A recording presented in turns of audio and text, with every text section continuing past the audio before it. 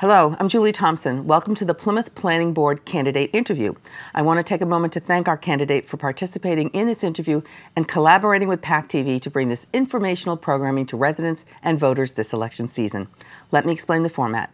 Today, Frank Mand will be interviewed. Frank will have two minutes to introduce himself, speak about his background, qualifications, and why he's running for this office. I will then ask a series of questions related to state and local issues. Frank will be hearing the questions for the first time during this forum. He will have two minutes to answer the questions. After the questions, Frank will have two minutes for a closing remark. The two minute time frame will be shown on the screen for Frank to see. Let's get started with the opening statement. Frank Mand, welcome. You have two minutes. I have two minutes to tell you how I believe we can change direction.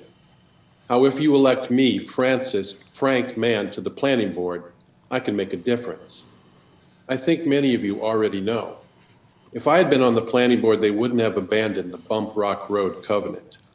If I had been on the planning board, they wouldn't have fought the bylaw that has kept massive solar arrays from devouring our woods and wildlands. As a member of the planning board, I will see things differently. Now, a majority of the board uses zoning regulations as an excuse for doing little to meet the ideals of our master plan. Did you even know we had a master plan? Did you know that it called for setting a physical boundary beyond which expensive town infrastructure should not go? Did you know that it called for preserving the Pine Hill, the hill, not the development? Did you know that it called for preserving the character of our villages, including Chiltonville? Too many town officials have their heads literally in the sand. We changed our earth removal permit regulations to prevent never ending sand and gravel operations, but we still waive many of those restrictions more often than not. Millions of dollars of sand and gravel for what? If you ask people that truly care about this town and its future what they need, they'll tell you they want the citizen members of our boards and committees to start fighting for them. Plymouth has everything it needs to truly embody the idea of America's hometown, except for one thing elected officials who share their vision. Thank you. Thank you. Okay, we're going to go to the first question. Hold on one second. Let me reset. Okay, question number one. How does the board balance the need for commercial growth, residential growth, and open space in the community? You have two minutes. Well, ideally, the board balances that by using the regulations that it has, community input and values, and tries to find that happy medium. I don't think that's necessarily been happening. I do think, in my research into the board and the zoning regulations, I believe shows that there are regulations that respect open space. There are regulations that insist on protecting topography and our natural resources, but they seem to be an asterisk that is rarely referred to.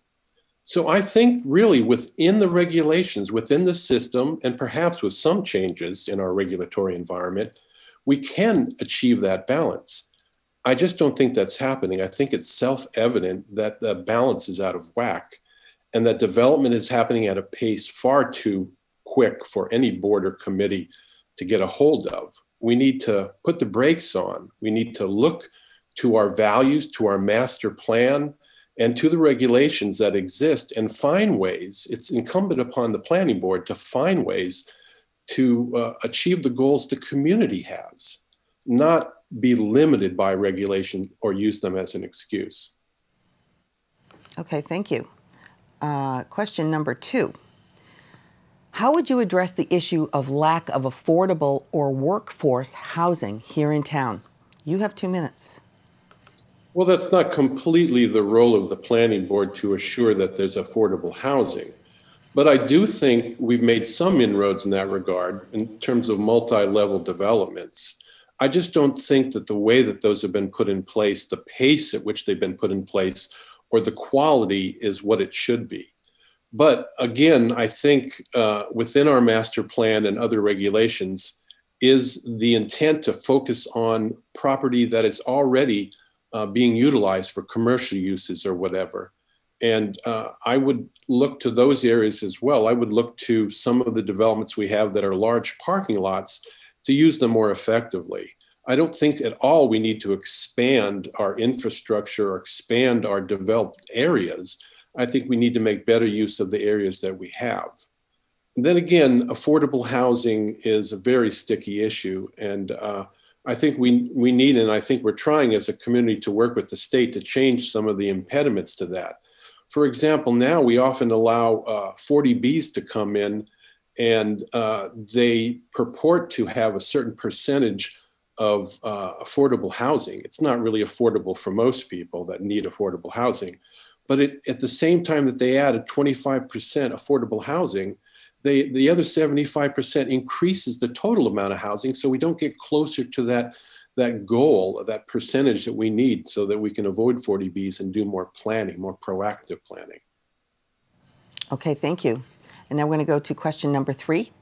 What is your vision for the town for the next five years? You have two minutes. Mm, five year vision. I would hope it would be a 20 or a 50 year vision. We're, we're going through many changes. We're facing many challenges in terms of climate change and rapid growth. Five years is a very short window. But I would say probably what I would hope to do as a member of the planning board is put on the brakes, is slow things down, is give us the opportunity to truly plan. I know there's an awful lot of work that our staff, our planning de- uh, departments, and others have to do right now just to function on a normal level. But we need to have them doing more planning for the future. So, one of the things I would hope for is that we would really fund the kinds of staffing we need to truly plan to look forward not just five years, but 10, 20 years. We have to do that because the decisions we're making today are going to impact us for 15, 20, 50 years. Uh, I, I won't be around much longer than maybe 20, 30 years, but I think we need to, to do the work that creates a community we want to be part of, however long we live, uh, for all of our children and other people. Um, so there's a lot of work to be done. So I think my vision right now is that we have to slow down. We have to put the brakes on. We have to respect what the community wants. We have to start planning for a long term future. If we don't do that, we're planning by default, we're planning by development. We're trying to, to work around the edges as big developer comes in, come in with big plans. And all we can basically do is tell them what shrubs to plant and how many parking spaces to have. We have to do more than that perhaps we have to look at uh, a, a, moratorium on development, but we have to do what it takes to ensure a, a future that we can all share in. Okay, thank you very much. And now we're going to move on to closing remarks, and you will have two minutes for your closing remarks. Go right ahead. Let me take a sip of water.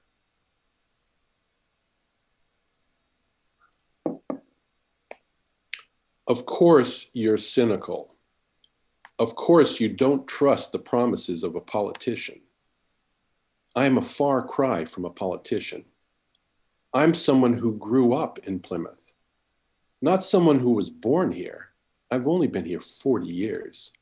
I'm someone who came to understand and appreciate what it meant to have a hometown here. I began life as a service brat, moving from base to base. I enjoyed that lifestyle, the things I saw, the places I traveled to. So when I first came to Plymouth, I laughed at the notion that this was America's hometown. But then I was hired by the Old Colony Memorial and was required to write about the people, their desires, their pride in the history and beauty of this community. I spent a year getting up at 4 a.m. to take a sunrise picture somewhere in Plymouth every day and I saw that beauty, those beaches, ponds, woods, and wildlands, saw it for myself. I became entranced by our unique environment, our rare species. I joined the Southeastern Massachusetts Pine Barrens Alliance to work to protect this globally rare ecoregion. I truly love living here, and I'm sincerely concerned that if we don't change direction, we can lose it all. I know that I will have to work hard, that I have much to learn, that my ideals will be constrained by regulations. But you have to begin with vision, with ideals, with hope, or there's nowhere to go. Don't elect another bureaucrat. Elect me, Francis Frank Mand, to the planning board. Let's work together to change direction. Thank you. Thank you, Frank, for participating in this interview. We wish you the best of luck throughout your campaign and in the election. For our viewers, thank you for joining us. If you're interested in watching replays of this interview, please visit our website, pactv.org/elections, for replay times and online viewing options, including PAC TV's on-demand and streaming service, PAC TV Prime. And please make your choices heard by voting in the special election on Saturday, May 15th. Thank you and good day.